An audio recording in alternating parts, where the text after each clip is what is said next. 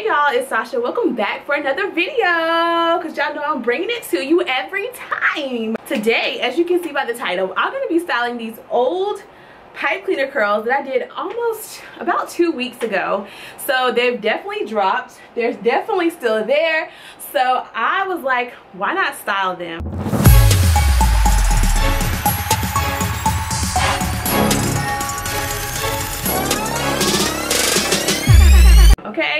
So i have about short to medium size length locs i guess.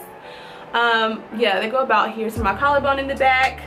So when they're not curly if you want to see about how long my hair is here's a picture when my hair is completely straight. And before we go any further you better have already hit that like button. Go ahead and hit subscribe to join the family because it's lit over here okay? All right y'all let go so to get started, I'm gonna go ahead and mist my locs with this Carol's Daughter Black Vanilla, honey. Let's see if I can, there we go. Oh yeah. With this Carol's Daughter Black Vanilla leave-in conditioner just to help hydrate my hair. It's very hot out. And you know, who wants dry locs?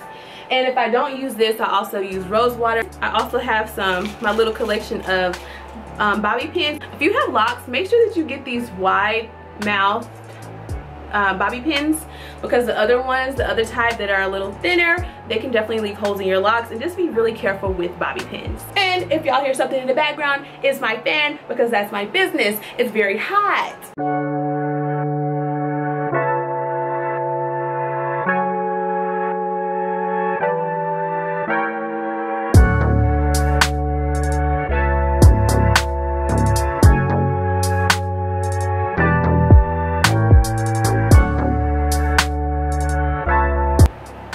All right y'all so here is my double space bun just give you a little bit of texture with the curls in the back. Got my little cute buns there. And you're ready to go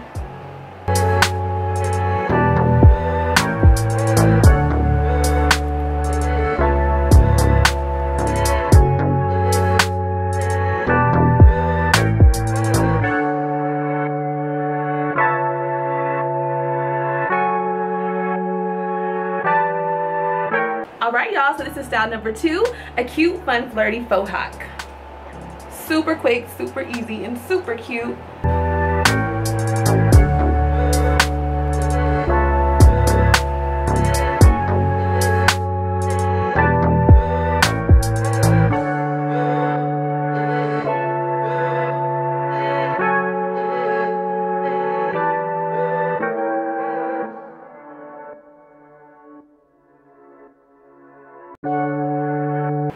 all right y'all so here's the final look. I have my bangs to the side. I have my curls giving you life in the back okay? And then i have my little bun. I have no idea what it looks like in the back so i hope that it looks good. And yeah that's it for this one. That's style number three